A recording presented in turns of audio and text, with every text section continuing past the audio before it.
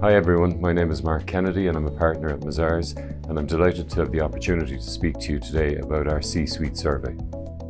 The C-Suite survey is a survey that we take each year to understand what are the issues that are facing the leading executives in the world. So at the end of 2021, we ran our annual survey and got feedback from over a thousand executives representing the largest companies in the world on the issues that they feel are relevant to their businesses in 2022.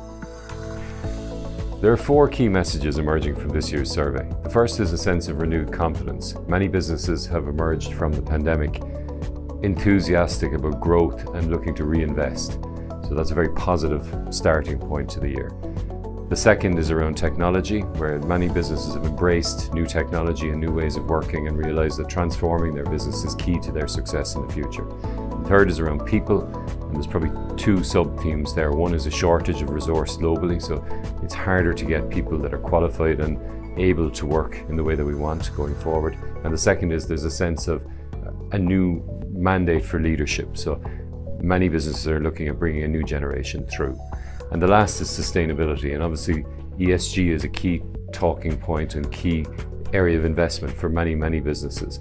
And what we found in our survey is that a lot of leaders are looking at the how now. They've made the decision to invest in ESG, but they are now looking at the practical ways they can implement that. Of course, we're now six months into 2022 and the world has evolved in a significantly different way than we expected at the end of 2021. We have a war in Europe, which nobody anticipated. We've seen inflation move from a regional issue to a global issue, and that's putting a lot of pressure on many businesses around the world.